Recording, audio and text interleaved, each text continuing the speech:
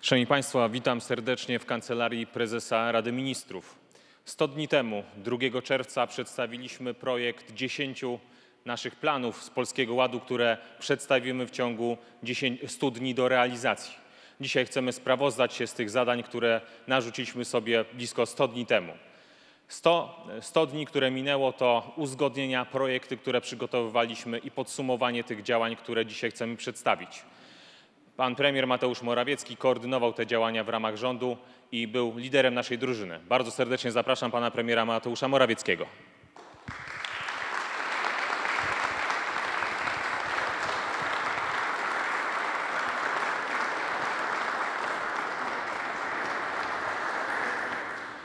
Polski Ład to wizja rozwoju Polski, również w związku z tym, że mamy za sobą, a właściwie jesteśmy w trakcie trudnych wyzwań związanych z epidemią.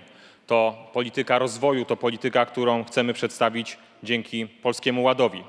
Już po miesiącu pierwszych działań, które realizowaliśmy w ramach Polskiego Ładu, przedstawiliśmy i zrealizowaliśmy dwa pierwsze projekty. Znieśliśmy limity do lekarzy oraz przy, przedstawiliśmy program Profilaktyka 40. Program, dzięki któremu możemy dbać lepiej o swoje zdrowie. Zobaczmy, jak to zrobić. W życiu ważne są wyniki. Dbasz o wyniki w nauce swoich dzieci. Poświęcasz się, by osiągnąć dobre wyniki w pracy. Ekscytujesz się wynikami sportowych rozgrywek. A jak z wynikami Twojego zdrowia? Te wyniki mogą zadecydować o Twoim życiu. Choroby nie czekają, aż będziesz miał czas. A Ty nie czekaj z badaniami. Rusza rządowy program bezpłatnych badań Profilaktyka 40 dla milionów Polaków od 40 roku życia. Badaj się i bądź zdrów. 2020 rok to światowa epidemia koronawirusa. To uderzenie w nasze rodziny, uderzenie w pracowników, uderzenie w przedsiębiorców. Dlatego też rząd Prawa i Sprawiedliwości w ubiegłym roku, gdy tylko pojawiła się epidemia koronawirusa, uruchomił bezprecedensowy program wsparcia z tarczy antykryzysowej i tarczy finansowej. To był pierwszy krok, aby ochronić nasze rodziny, naszych przedsiębiorców, pracowników przed efektami epidemii, również tymi efektami gospodarczymi. Drugim krokiem było przedstawienie właśnie założeń Polskiego Ładu. W ramach Polskiego Ładu powstał rządowy program Polski Ład, który wesprze również inwestycje w samorządach.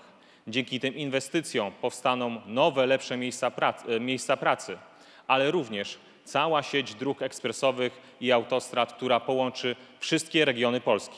Zobaczmy, W jak ta ciągu sieć będzie ostatnich wyglądała. pięciu lat mapa drogowa w naszym kraju powiększyła się o prawie połowę. Po Polsce jeździ się dzisiaj znacznie bezpieczniej i bardziej komfortowo. To jednak nie koniec. Rozpoczęła się właśnie nowa dekada. Będzie ona czasem dynamicznego rozwoju infrastruktury drogowej. Do 2030 roku wybudujemy drogi szybkiego ruchu o długości przekraczającej 8 tysięcy kilometrów. Wykluczenie komunikacyjne będzie zanikać jeszcze szybciej, a wszystkie polskie regiony zostaną połączone siecią nowoczesnych dróg. W Polskim Ładzie łączymy Polskę. Inwestycje drogowe to tylko jeden z elementów, który powoduje, że w Polsce powstanie, powstaną nowe miejsca pracy. Rodzina zawsze była w centrum zainteresowań naszego rządu, w centrum aktywności działań rządowych, które realizowaliśmy przez ostatnie lata. Żeby wesprzeć rodzinę, realizujemy również nowy program Rodzinny Kapitał Opiekuńczy, który wesprze opiekę nad naszymi dziećmi. Małe dzieci to niemałe wydatki.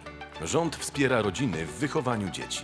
Dlatego powstał Rodzinny Kapitał Opiekuńczy. To kolejny krok na drodze do poprawy sytuacji i jakości życia polskich rodzin. Rodzinny Kapitał Opiekuńczy to w sumie 12 tysięcy złotych na drugie i każde kolejne dziecko, bez względu na dochód rodziny. Program skierowany jest do rodziców dzieci w wieku od ukończenia 12 aż do 36 miesiąca życia. To rodzice zdecydują, na co przeznaczą dodatkowe pieniądze. Pozostawiamy im wybór. Rodzinny kapitał opiekuńczy. Kolejna inwestycja w polską rodzinę. Program realizowany w ramach Polskiego Ładu. Szanowni Państwo, to tylko niektóre projekty, które udało się zrealizować i przyjąć przez rząd w ciągu ostatnich 100 dni. O podsumowanie tych działań oraz nakreślenie dalszych planów poproszę bardzo pana premiera Mateusza Morawieckiego, który jest dzisiaj z nami. Zapraszam panie premierze.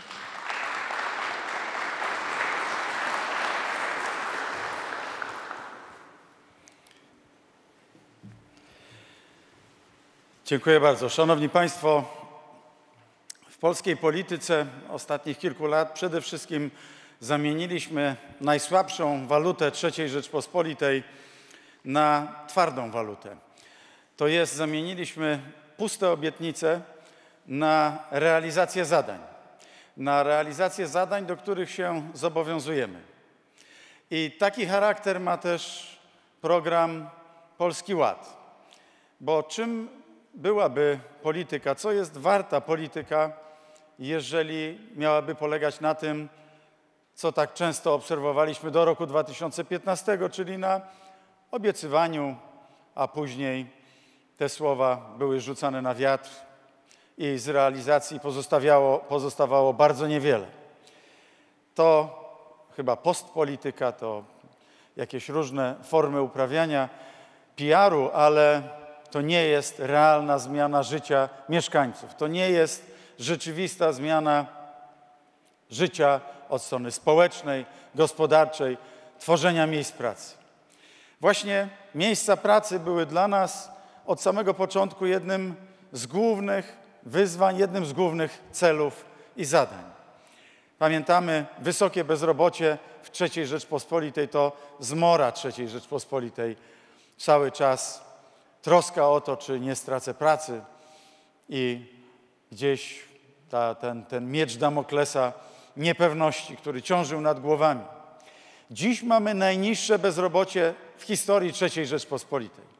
Jeden z najniższych poziomów bezrobocia w całej Unii Europejskiej. Myślę, że 10 lat temu, jakby ktoś został zapytany na ulicy, czy to jest możliwe, to ogromna większość Polaków powiedziałaby, że nie. Ale to są nasze realne działania. To właśnie w ten sposób marzenia Polaków zamieniamy na rzeczywistość i oczywiście wielkie programy, które przed sobą roztaczamy, przedstawiamy Polakom, konsultujemy je, dyskutujemy o nich, charakteryzują się tym, że muszą mieć pewien fundament, muszą mieć pewną podstawę. I tą podstawą, która jest trochę niewidoczna, ale od niej się wszystko zaczyna, jest uzdrowienie systemu finansów publicznych. Jest zdrowy, zdrowszy przynajmniej, powiem skromnie, bo na pewno dużo jest jeszcze ciągle do zrobienia. System budżetu państwa, finansów publicznych. To właśnie dlatego nasi przeciwnicy polityczni, Platforma Obywatelska, pan Tusk, który wcześniej zarządzał przecież właśnie tą tym budżetem, przez który pieniądze przeciekały jak przez durszlak, nie mogą za bardzo uwierzyć, skąd możliwe są środki na te wszystkie programy. Tydzień po tygodniu. Cichym bohaterem tych wszystkich rozwiązań są nasze, tych wszystkich uszczelnień, są nasze szczegółowe projekty, propozycje, programy, zmiany realizowane przez ludzi, które prowadzą do tego, że nasz system finansów publicznych nie tylko jest chwalony przez Komisję Europejską, przez instytucje międzynarodowe, ale coraz bardziej przypomina zdrowy fundament znany nam z państw zachodnich, zwłaszcza północnej Europy. I to dzięki temu dzisiaj mogę tutaj stanąć przed Państwem po tych studniach zgodnie z naszą obietnicą, bo wiarygodność jest najtwardszą walutą, którą chcemy się posługiwać i przedstawić realizację, stan realizacji, a niekiedy już zrealizowane projekty z tych dziesięciu, które ogłosiliśmy na początku czerwca, dwa tygodnie po przedstawieniu całego programu Polski Ład. To po pierwsze tematy związane ze zdrowiem. Rozpoczęliśmy od tego, żeby znieść limity do specjalistów. Oczywiście to nie jest jak, sytuacja jak za dotknięciem czarodziejskiej różdżki, że od razu znikną wszystkie kolejki, ale od tego się zaczyna. W czasach Platformy Obywatelskiej limitowano o wiele bardziej dostępy do specjalistów. My znieśliśmy te limity, włożyliśmy tam dodatkowe środki. To też, Szanowni Państwo, bardzo ważne z punktu widzenia personelu medycznego. To chcę podkreślić, bo jednym z naszych zobowiązań przyjętych już, przyjętych w formie ustawy, tym kolejnym, jest przeznaczenie 7% środków wysokości do, w relacji do PKB na służbę zdrowia. Wejście w trzecią dekadę XXI wieku chcemy zacząć od naprawy służby zdrowia. Zdaję sobie sprawę z tego, że dziś wokół nas jest dużo oczekiwań, oczekiwań po stronie służby zdrowia także, medyków, pracowników różnych części służby zdrowia. I w sposób szybszy niż w innych częściach państwa będziemy starali się podnosić wynagrodzenia. Więcej niż średni wzrost po to, żeby rzeczywiście nasi najlepsi, wspaniali medycy, służba zdrowia, pielęgniarki, lekarze, panie salowe mogli w spokoju skupić się na leczeniu pacjentów, na leczeniu Polaków, na pomocy Polakom.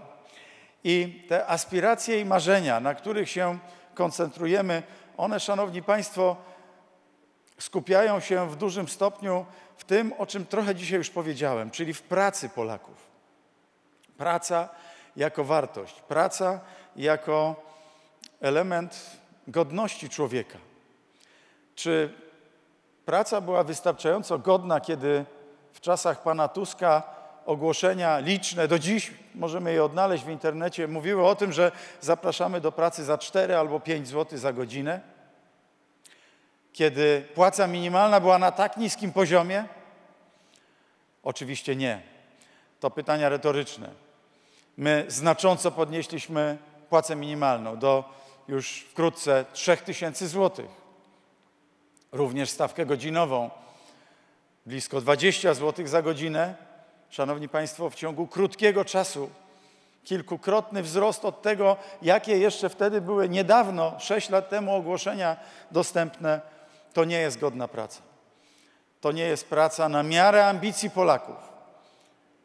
Ostatnio jestem często pytany, czy aspiracje Polaków, które przenikają, przebijają przez coraz to kolejne badania, to powód do radości, czy to, czy to powód do obaw. Drodzy Państwo, szanowni rodacy, to powód do ogromnej radości. Przecież ja pamiętam znakomicie filozofię panującą w III Rzeczpospolitej, tą pedagogikę wstydu, to wciskanie Polaków do kąta, to branie przez Polaków cudzych win na swoje własne sumienie. Dość tego. Nie chcemy absolutnie takiej postawy. Mnie cieszy to sięganie coraz wyżej, ta, te aspiracje Polaków, bo one wyznaczają kolejny horyzont. One dla Prawa i Sprawiedliwości, dla naszego rządu są wyzwaniem, są wielkim zadaniem, któremu będziemy starali się sprostać. I po tej drodze idziemy zdecydowanie. Czasami się potykamy, popełniamy błędy. Za te błędy przepraszam, za wszystkie potknięcia także. Ale chyba lepiej jest starać się robić jak najwięcej, realizować to, do czego się zobowiązujemy i czasami popełniać błędy, niż siedzieć z założonymi rękami i patrzeć, jak przez budżet państwa przeciekają dziesiątki miliardów złotych rocznie. Dziesiątki miliardów złotych przeciekały w czasach Platformy. Odwołuję zainteresowanych do opracowań Komisji Europejskiej o luce podatkowej w poprzednich czasach. Szanowni Państwo, pandemia postawiła przed nami ogromne zadania. To czas, który zaburzył ten regularny, systemowy, systematyczny wzrost. I dzisiaj Polski Ład służyć ma właśnie temu, żebyśmy z powrotem weszli na szybką ścieżkę wzrostu. Bo ta szybka ścieżka wzrostu to wyższe wynagrodzenia Polaków, to lepsza edukacja, lepiej opłacana służba zdrowia. I dlatego zdecydowaliśmy się na jedną z największych w historii Polski obniżek podatków, jeśli nie największą. Obniżek podatków to pozostawienie w portfelach Polaków 16,5 miliarda złotych.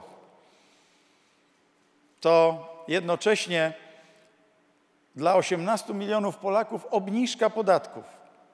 I stąd nasze kolejne zobowiązanie, realizowane już teraz, przyjęta przez rząd ustawa, w wyniku której do 30 tysięcy złotych zarobków rocznych Polacy nie będą płacili podatku. To wyższy poziom kwoty wolnej, czyli pracy bez podatku, niż we Francji, we Włoszech, w Hiszpanii, a nawet w Danii. I to wyższy nie procentowo do PKB czy jakieś takie wyliczenia, wyższy w wartościach bezwzględnych. A więc coś zasadniczo odmiennego niż sytuacja, z którą mieliśmy do tej pory do czynienia. Dla większości Polaków 3 tysiące złotych z niewielkim haczykiem, teraz 30 tysięcy złotych. Podobnie, Szanowni Państwo, ten drugi próg podatkowy, ten budujący także aspiracje, też spełniający ambicje Polaków, też kształtujący polską klasę średnią, podnosimy pierwszy raz od 12 lat. Z 85 na 120 tysięcy złotych dla tych Polaków, którzy do te, w ten drugi próg już teraz e, wpadali, jak to się mówi, czyli ich zarobki roczne przekraczały 85 tysięcy złotych. I to kolejne nasze zobowiązanie, które ujęliśmy w Polskim Ładzie i je dzisiaj wykonujemy. To także emerytura bez podatku dla 90% emerytów i rencistów do wysokości 2,5 tysiąca złotych. Emerytura nie będzie obciążona podatkiem. A także dla tych emerytów, którzy czują się na siłach, chcą dalej pracować, proponujemy pracę bez podatku, ponieważ chcemy, żeby ci, którzy mają doświadczenie, dzielili się tym doświadczeniem, żeby uczyli młodszych, a jednocześnie, żeby zarabiali na swój kapitał emerytalny jak najwięcej. Dlatego, Szanowni Państwo, to kolejne po e, służbie zdrowia 7%, po profilaktyce, zniesieniu e, profilaktyce dla osób, które przekroczyły 40, 40 rok życia, po zniesieniu limitów do specjalistów, po obniżce podatków dla 18 milionów osób i po dwóch, po obniżce podatku dla wszystkich emerytów, ale jednocześnie zniesieniu podatku dla 90% emerytów, to wielkie programy społeczne. I kiedy wdrażaliśmy nasze poprzednie programy, ja pamiętam to powątpiewanie, ten sceptycyzm, 500, plus, czy to jest w ogóle możliwe, nie było takiego entuzjazmu społecznego. A opozycja tak dzisiaj, jak i wtedy próbowała wywołać chaos wokół tego, hałas, zwątpienie. I w wielu sytuacjach jej się to udaje, bo ma dostęp do potężnych mediów, do zagranicznych mediów oczywiście również, ale my z mozołem, krok po kroku pokazujemy rezultaty naszych działań. I tak jak Polacy przekonali się, że trzynasta emerytura stała się faktem, że wyprawka stała się faktem, już nie trzeba się tak martwić o to, za co kupimy przybory szkolne przed 1 września. Jak 500 plus stało się faktem i likwidacja w dużym stopniu skrajnego ubóstwa, to kupowanie na zeszyt w gminach, powiatach, pamiętacie to Państwo doskonale, i to w dużym stopniu odeszło do przeszłości, bo jest praca, bo jest polityka społeczna, bo są inwestycje, wielkie inwestycje, które także kontynuujemy. I to było nasze kolejne, szóste zobowiązanie z tej dziesiątki, które przedstawiliśmy 2 czerwca. Otóż to było zobowiązanie do realizacji potężnych programów inwestycyjnych. Modernizacja sieci ciepłowniczej, remonty, modernizacja, budowa dróg, sieci kolejowych, transport niskoemisyjny, zeroemisyjny, wszystko, co wiąże się z ekologią, z ochroną środowiska, to nie jest zapowiedź. Tylko dzisiaj mam ogromną przyjemność powiedzieć, że spłynęło do nas już blisko 8 tysięcy wniosków z 2477 gmin i z 380 powiatów i z 16 województw. Każdy samorząd złożył wnioski i wszystkie samorządy otrzymają środki na realizację tych zadań, o których ostatnio, jak w bardzo wielu powiatach, gminach byłem, to wielu wójtów, burmistrzów powiedziało mi, że takich środków nigdy nie było. Zapytajcie, drodzy rodacy, swoich samorządowców, swoich przedstawicieli, swoich radnych, swoich posłów, czy kiedykolwiek były takie środki na inwestycje. To też zdrowy system finansów publicznych umożliwił realizację takich wydatków. Szanowni Państwo, ten program będzie kontynuowany. O tym jeszcze za chwilę powiem. Teraz przejdę do kolejnych naszych e, obietnic siódmej, ósmej, dziewiątej i dziesiątej, czyli gwarancja wkładu własnego dla tych, którzy chcą kupić mieszkanie, dla młodych ludzi, rodzinny kapitał opiekuńczy, domy e, do 70 metrów bez zbędnej biurokracji, ale także program dla rolników, e, o którym jeszcze też za chwilę powiem, i centra nauki, małe centra nauki Kopernik w kilkudziesięciu miejscach w całej Polsce. Dla młodych ludzi, po to, żeby tam też poznawali ten świat zawodów współczesnych, kompetencje techniczne, relacyjne, zarządzania zmianą, zarządzania projektami, umiejętności, które są tak bardzo potrzebne we współczesnym świecie. A więc, Szanowni Państwo, programy prorodzinne, programy dla młodych, to co najbardziej potrzebują młodzi praca i mieszkanie. O pracy mówiłem. W ramach Polskiego Ładu chcemy stworzyć i tworzymy już ponad 500 tysięcy nowych miejsc pracy, a więc wynagrodzenia znowu będą rosły i to jest nasz cel. A teraz mieszkania. Dla każdego, kto będzie chciał, każdej pary, każdego małżeństwa, młodych ludzi, którzy będą chcieli kupić mieszkanie i nie, nie stać ich dzisiaj na wkład własny, zapewnimy gwarancję wkładu własnego ze strony Skarbu Państwa. I znowu, stać nas na to nie przez przypadek, tylko właśnie dlatego, że z mozołem naprawiliśmy te oka sita, jakim był polski budżet, zacerowaliśmy je, wdrożyliśmy dziesiątki, setki nowych rozwiązań, przeszkoliliśmy pracowników i dzisiaj ten system jest zupełnie inny. Nie dajmy tego zmarnować. To jest wielki dar, wielka szansa dla całej naszej ukochanej ojczyzny. Ale także w ramach tego gwarantowania mamy pewną ofertę, która znowu ma na celu podnieść nasz potencjał ludnościowy. Liczyliśmy na to, że mm, cały program 500 Plus do tego doprowadzi i myślę, że gdyby jego nie było, byłoby dzisiaj jeszcze gorzej, ale nie jest dobrze, nie jest wystarczająco mm, e, dobrze, tak jakbyśmy sobie wszyscy tego życzyli.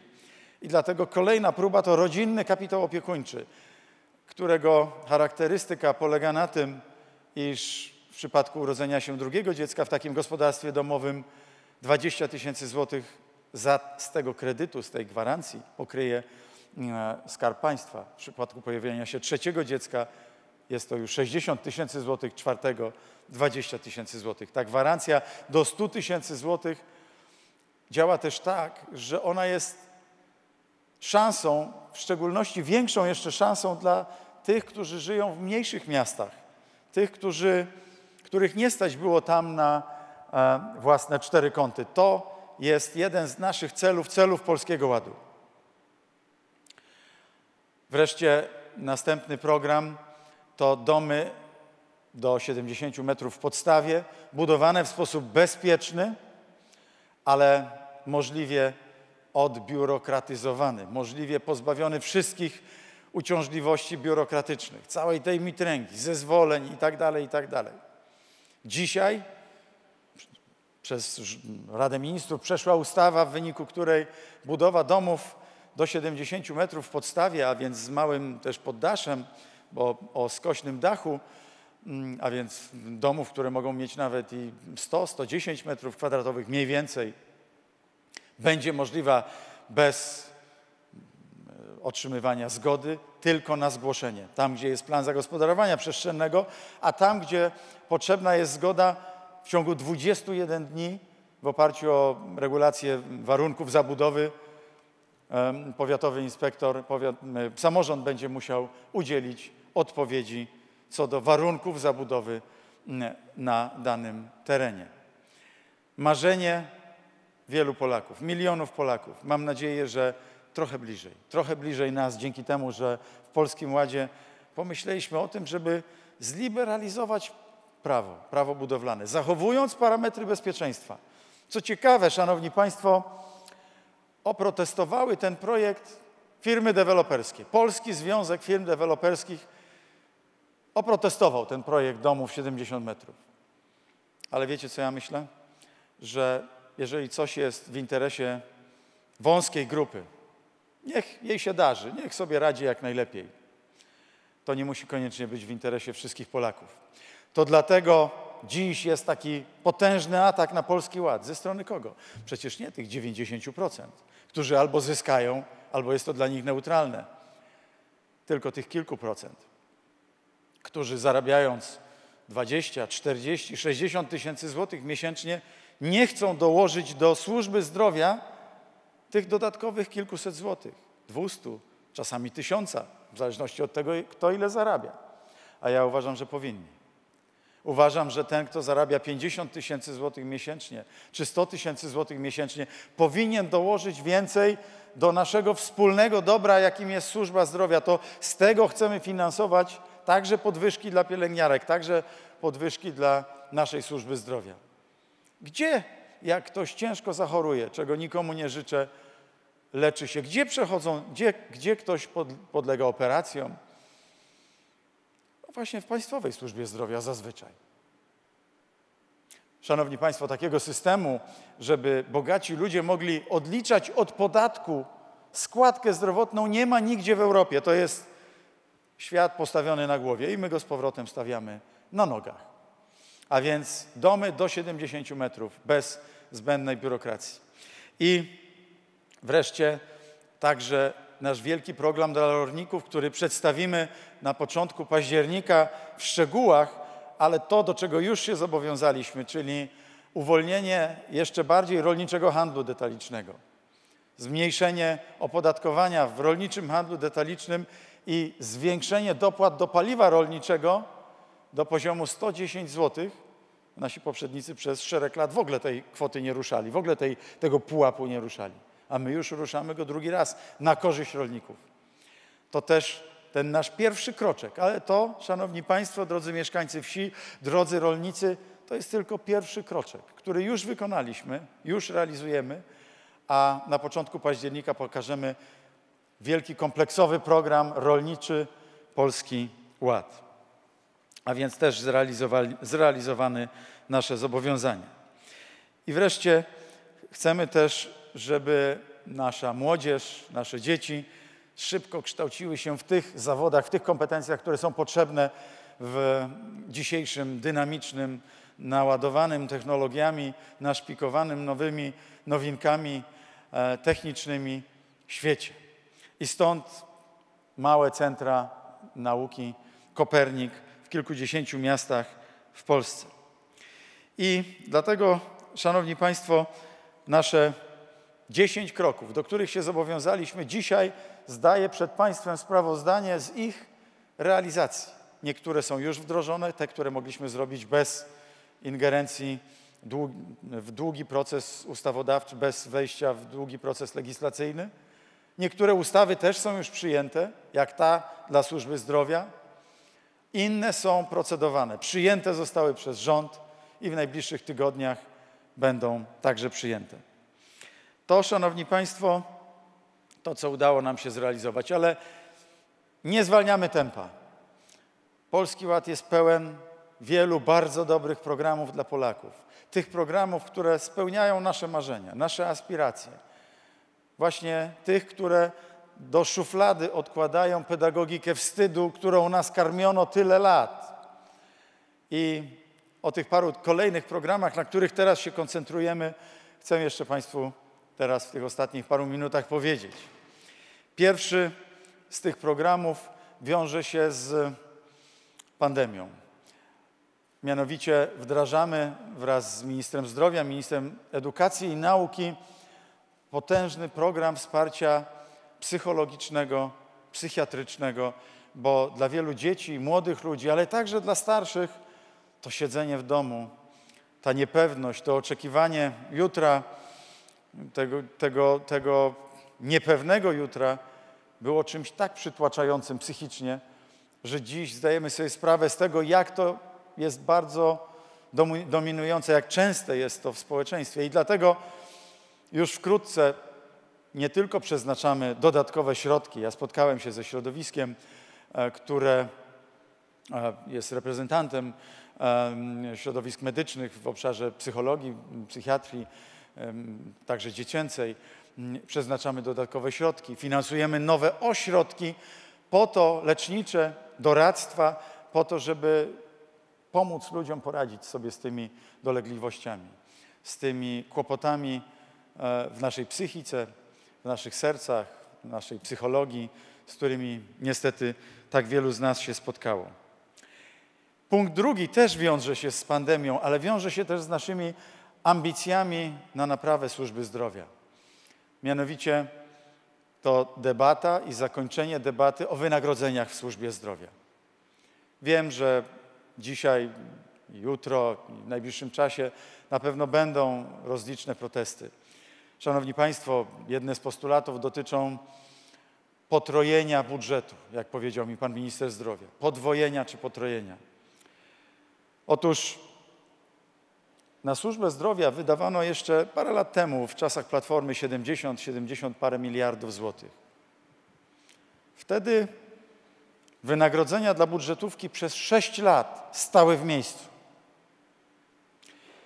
My podnieśliśmy wydatki na służbę zdrowia do, pozycji, do kwoty ponad 120 miliardów przez 5-6 lat. Nigdy nie było takiego procentowego sukcesu, patrząc też na wzrost realny, bo zawsze jest jakaś inflacja, trzeba porównać to do wzrostu realnego. Ale szanowni Państwo, podwojenie czy potrojenie to kwestia, która, na którą trzeba, którą trzeba rozłożyć w latach, którą musimy stopniowo realizować. Każdy we wszystkich zawodach na pewno chciałby więcej zarabiać i to jest rdzeń naszej polityki. To właśnie dlatego te nowe miejsca pracy. Ja dzisiaj rano miałem rozmowę z inwestorami być może jednej z większych inwestycji w tej części Europy. Dwa dni temu w Gdańsku także z inwestorem mikroprocesory. I po to to robimy, żeby było, wynagrodzenia były jak największe. I także w służbie zdrowia. I także będziemy przeznaczać kolejne miliardy złotych, to obiecuję. Może nawet powyżej 10 miliardów złotych rocznie na służbę zdrowia rok po roku, w najbliższych latach. I dlatego to jest drugi z moich priorytetów, który tutaj przed Państwem chciałem e, przedstawić. Trzeci dotyczy zasadniczej przebudowy ubezpieczeń rolniczych. Drodzy Państwo, mniejszość z nas, Polaków, zajmuje się rolnictwem, ale wierzcie mi, to strasznie ciężki kawałek chleba obarczony potężnym ryzykiem gospodarowania. Klęskami żywiołowymi, które spadają na rolników jak grom z jasnego nieba. Klęskami biologicznymi. ASF, ptasia grypa w tym roku. Nie ma ubezpieczycieli, którzy to ubezpieczą. Proszę sobie sprawdzić, którzy wszystkie tego typu ryzyka ubezpieczą. I dlatego w to miejsce obok składek rolniczych w ogromnym stopniu, większym niż, znacznie większym niż składki rolnicze, wejdzie państwo polskie. Po to, żeby zapewnić godziwą rekompensatę strat w oparciu o nowy system ubezpieczeń rolniczych i ten system zaprezentujemy także już na samym początku października. Punkt czwarty, na którym teraz mocno się skupimy, to także program zazieleniania miast żeby skończyć z tą betonozą, która w wielu miejscach, zwłaszcza w dużych miastach, panuje. Widziałem przesłane mi przez młodych ludzi zdjęcia rynków, ryneczków, miejsc, które jeszcze 10 lat temu były zalezielenione, pełne drzew, trawników, dzisiaj zabetonowane. Także w wielkich, pięknych polskich miastach ten proces trzeba uporządkować. Musi być więcej zieleni, musi być dbałość o środowisko naturalne i to kolejny wielki program, który, który rozpoczynamy. Wreszcie piąty, na którym się koncentrujemy, to akumulacja kolejnej puli środków pod realizacji drugiej fali, drugiej fazy inwest polskich inwestycji strategicznych, czyli tego, co nazywamy rządowym programem Polski Ład. Wszyscy samorządowcy doskonale wiedzą, co to jest Drodzy Państwo, zgodnie z obietnicą daną dwa miesiące temu, za miesiąc ruszy druga transza, e, możliwość składania wniosków, która będzie na podobnie korzystnych warunkach wspierała inwestycje na najbliższe lata w, tych wszystkich obszarach, o których trochę już dzisiaj także wspomniałem. Szanowni Państwo, Polski Ład to, jak widać, program budowy Polski uczciwej, sprawiedliwej, wolnej, dynamicznie się rozwijającej Polski, która jest dobrym, wspaniałym miejscem do życia dla młodych ludzi. Jakże cieszę się, że przez ostatnie dwa lata wróciło do Polski od 150 do 200 tysięcy ludzi. Takie statystyki widziałem, takie statystyki do mnie docierają. To ogromna radość, także z tych każdych, z każdego z pojedynczych przypadków, czy w Tykocinie, czy w Zabrzu, czy w wielkich i małych miastach, jak często ludzie do mnie podchodzą i mówią, panie premierze, wróciłem, wróciłam z moją rodziną, z trójką, czwórką dzieci z Irlandii, z Anglii, z Niemiec. To wierzcie mi państwo, chce się żyć, chce mi się skakać z radości i to jest dla mnie nagroda najlepsza, jaką mogę sobie wyobrazić za wszystko, co robię, a wszystkie kłamstwa i wszystkie ataki są dla mnie w związku z tym niczym. Dlatego dziękuję wszystkim Państwu za to, że doceniacie, że dostrzegacie to. A ci, którzy wrócili, to dostrzegają to w sposób najbardziej widoczny, bo głosowali niejako swoimi własnymi nogami, walizkami w tą drugą stronę, do Polski. I Polska dzięki Polskiemu Ładowi ma się stać najlepszym miejscem do życia w Europie. Celem naszym jest to, żeby była krajem, w którym aspiracje Polaków, oby jak największe, mogły się spełniać. A my z mozołem, rząd Prawa i Sprawiedliwości, będziemy starali się nadążać za tymi aspiracjami. Będziemy starali się robić wszystko, żeby te wewnętrzne, endogenne siły polskiej gospodarki, polskiego społeczeństwa, te, których nam tak bardzo brakowało, które były przyćmione, żeby działały jak pozytywne sprzężenie zwrotne, jak machina, która sama się pozytywnie napędza w kierunku szybszego wzrostu gospodarczego, dostatniego życia, dogonienia tych, którzy byli do niedawna jeszcze zupełnie poza naszym zasięgiem, zachodniej Europy, w standardzie życia, standardzie służby zdrowia, standardach edukacji, poziomie kształcenia. I to jest możliwe. I po wielkich naszych pierwszych planach społecznych, planie odpowiedzialnego rozwoju, gdzie zidentyfikowaliśmy pięć pułapek i kilka z nich już się domyka, już nie są takie straszne, jak były. Między innymi tam była zidentyfikowana pułapka średniego dochodu, pułapka słabości instytucjonalnej. To się zmienia, to się realizuje.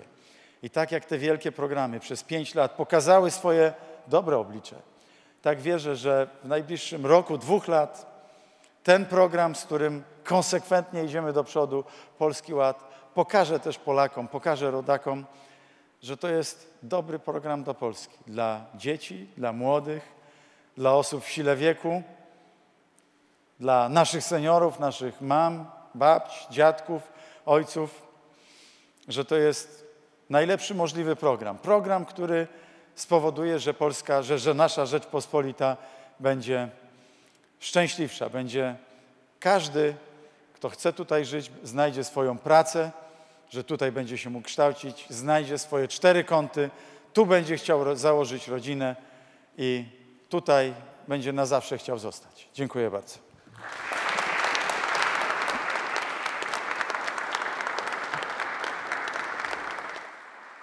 Dziękuję bardzo panie premierze. Szanowni państwo, 10 konkretów, które zostało przedstawionych i przyjętych przez Radę Ministrów.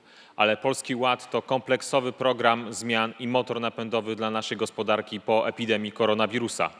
Przypomnijmy te 10 punktów, które zostało przyjęte i zrealizowane przez rząd. Kwota wolna od podatku to 18 milionów osób, które zyska na tych rozwiązaniach. To również emerytura bez podatku do 2,5 tysiąca złotych to zniesienie limitów do specjalistów, które obowiązuje od 1 lipca oraz program profilaktyka 40, dzięki, którym, dzięki któremu to programowi możemy zadbać lepiej o swoje zdrowie. To również mieszkanie bez wkładu własnego dla polskich rodzin, tak aby był łatwiejszy dostęp do rynku mieszkaniowego, ale także możliwość łatwiejszego zbudowania własnego domu bez zbędnych formalności. To również kapitał opiekuńczy, czyli wsparcie dla dzieci, wsparcie finansowe dla rodzin, które mają dzieci od 12 miesiąca życia do 36 miesiąca życia. To lepsza opieka dla naszych rodzin. To również program inwestycji strategicznych, rządowy program Fundusz Polski Ład, który tylko w pierwszej edycji będzie wynosił 20 miliardów złotych, a łącznie ponad 100 miliardów złotych, które trafią do polskich samorządów na inwestycje kluczowe w naszych regionach. To również wyższe dopłaty dla rolników oraz łatwiejsza sprzedaż bezpośrednia dla rolników, którzy bezpośrednio produkują żywność oraz program budowy małych centrów nauki Kopernik. Szanowni Państwo, z tymi informacjami chcemy rzetelnie dotrzeć do każdego województwa, do każdej gminy. Chcemy dotrzeć do wszystkich polskich rodzin. Każdy z nas ma marzenia. Niektóre z nich są bardzo oczywiste. Marzenia towarzyszą nam w każdym wieku. Jak byłam mała, marzyłam o pięknej lalce. Teraz marzę, by moje wnuki były po prostu szczęśliwe. Jak dorosnę, ruszę w podróż dookoła świata. A ja w przyszłości będę pilotem. Są też marzenia, które spełnią się szybciej. Życie pisze różne scenariusze. Dbaj o swoją rodzinę, my zadbamy o resztę. Polski Ład, by spełniać marzenia. Szanowni Państwo, na tym kończymy dzisiaj nasze wydarzenie, ale zaraz rozpoczynamy akcję informacyjną, o której przed chwilą wspomniałem. Zapraszam pana premiera na briefing prasowy oraz będziemy do państwa dyspozycji. Bardzo dziękuję za udział w wydarzeniu.